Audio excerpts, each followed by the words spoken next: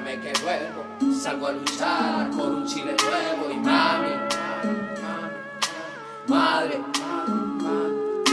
mami, espérame que vuelvo. Salgo a luchar por un Chile nuevo y mami, ya lo verás, que todo cambiará y digo mami, espérame que vuelvo. Salgo a luchar por un Chile nuevo y mami, ya lo verás que el abuso acabará. Mi madre me llamaba, ¿dónde vas?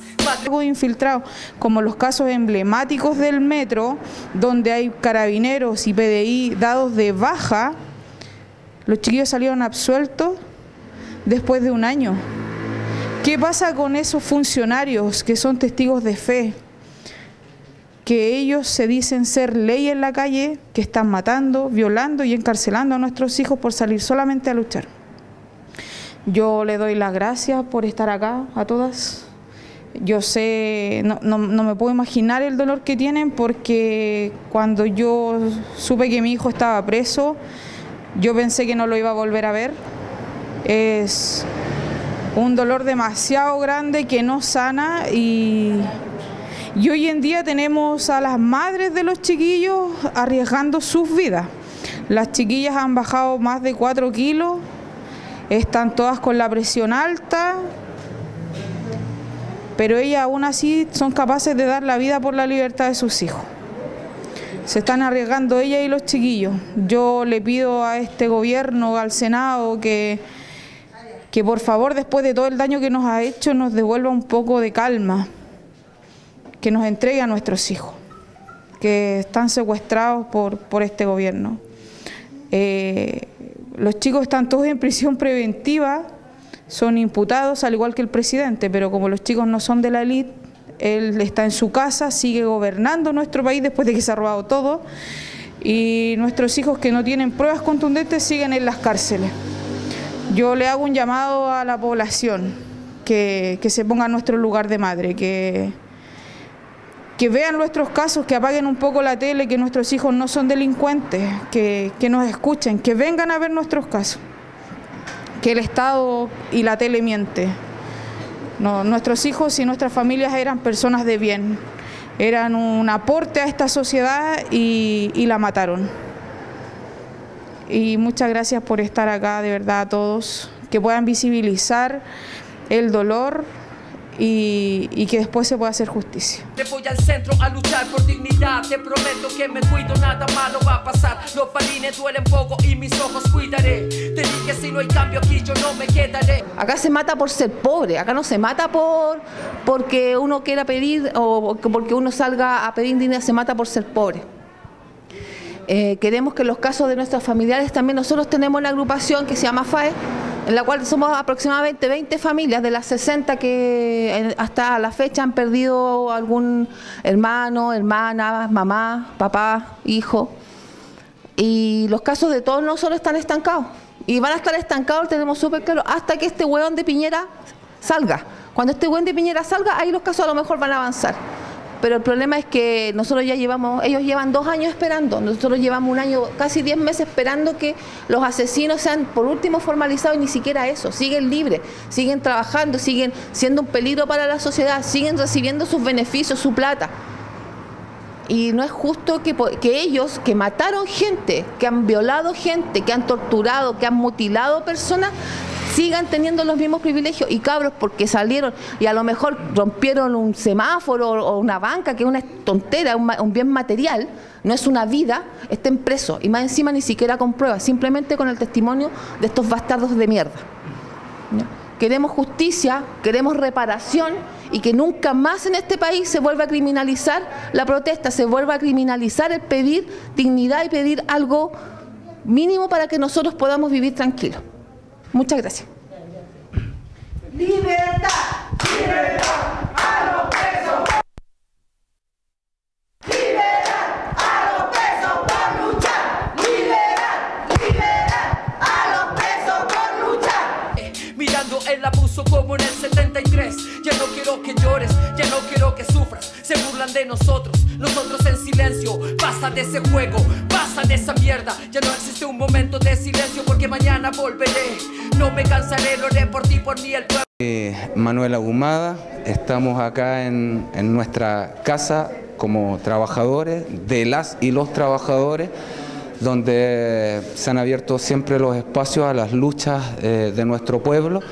Eh, quisimos venir a acompañar un ratito a las compañeras familiares de los presos políticos, eh, producto de esta rebelión popular que se genera a partir del 18 de octubre. Quisimos venir a acompañar, entregar ánimo, fortaleza, transmitir fuerza también a las y, los compañeros de los presos políticos que hoy día existe en Chile.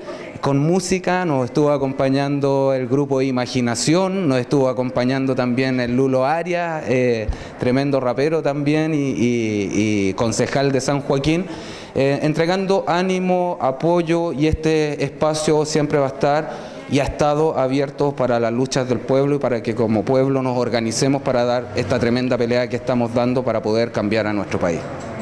La violencia que nos dieron ahora se va a devolver. Las balas que tiraron también le van a volver. No hay tiempo que perder. El pueblo ha despertado y no para hasta vencer. El pueblo ha despertado y no para hasta vencer. Mami, espérame que vuelvo. Salgo a luchar por un Chile nuevo y mami. Gracias a los jóvenes Chile despertó. En las manos, en los brazos de ellos está el futuro de este país. Gracias, jóvenes de Chile, con fuerza. Retroceder nunca, rendirse jamás. Chile es un, uno solo. Todo cambiará y digo mami, espérame que vuelvo. Salgo a luchar por un Chile nuevo y mami, ya lo verás, que el abuso acabará.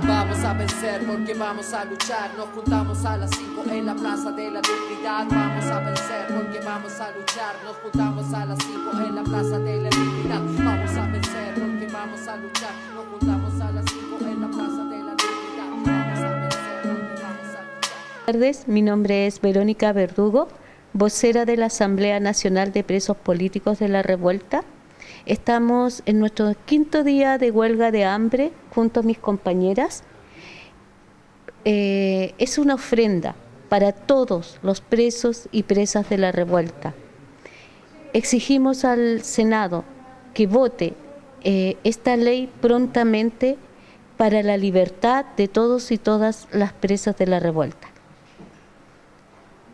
Llevamos dos años buscando justicia, buscando solución en los tribunales, pero no hemos sido escuchados, hemos sido criminalizados nuestros familiares por salir a protestar. No se ha respetado el debido proceso ni la presunción de inocencia. Es por eso que buscamos esta alterna- alternativa, perdón, alternativa política, porque es un problema político.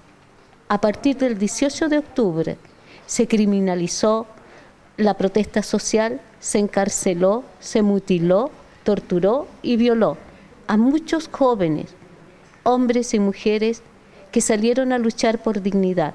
Todos nosotros estuvimos en la calle. Pudo ser cualquiera de nosotros. Y esto no puede seguir ocurriendo. Basta de impunidad. Queremos justicia. Queremos verdad, justicia, reparación y garantías de no repetición. Liberar a todos los presos por luchar.